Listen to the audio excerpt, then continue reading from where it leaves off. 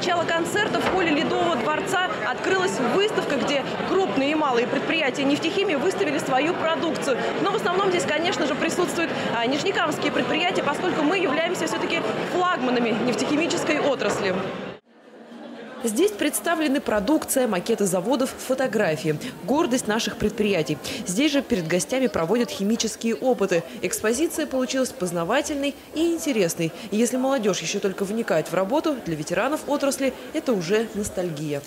Я работала с замечательными людьми. Это как Бурганов, Токмаков, Жуков. Поэтому это школа жизни, в принципе, школа жизни. Скоро мне на пенсию, поэтому я, я довольна, то, что я тут работала. Свой жизненный путь я провела именно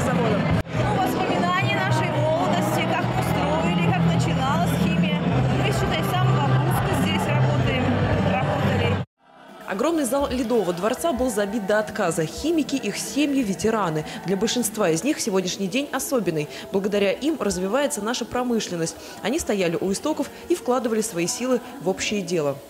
Дорогие друзья, уважаемые нефтехимики, разрешите еще раз от лица всех нижнекамцев поздравить вас с праздником. Пожелать вам и вашим семьям крепкого здоровья, счастья и благополучия. Сегодня со сцены прозвучало много теплых слов. Награждали лучшие предприятия, сотрудников и даже семейные династии. Общий стаж их работы в отрасли от 130 до 300 лет. Поздравить нефтехимиков приехал президент республики Рустам Миниханов.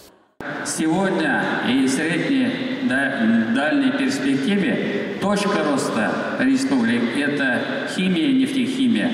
Поэтому мы искренне благодарим вас за ту работу, которую вы проводите, за ваш вклад в развитие нашей республики, нашей страны. И хотим пожелать вам дальнейшего процветания.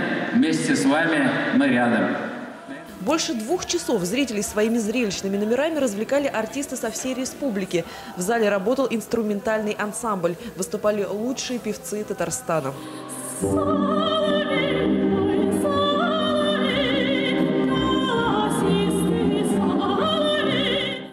На этом праздник не закончился. Сразу после официальной части на сцену вышел российский певец, солист известной группы «Браво» Валерий Сюткин, чтобы поздравить всех с Днем химика и исполнить свои хиты. Добрый вечер,